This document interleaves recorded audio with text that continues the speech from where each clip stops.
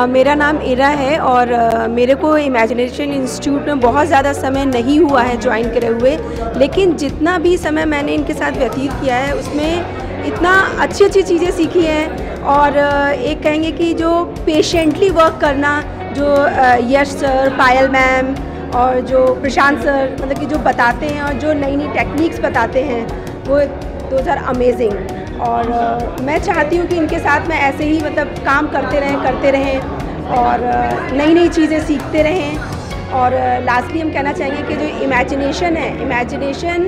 has given me a platform to do lot of things in a imaginative way